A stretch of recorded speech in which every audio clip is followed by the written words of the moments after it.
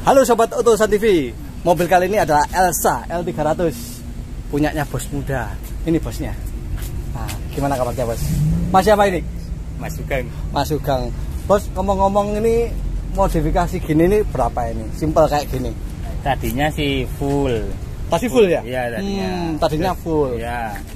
Habisnya tiga setengah. Tiga setengah. Terus ini dilepas tinggal depan sama belakang berarti kurang lebih kalau simple gini nggak sampai sejutaan ya Iya. mungkin ya Heeh.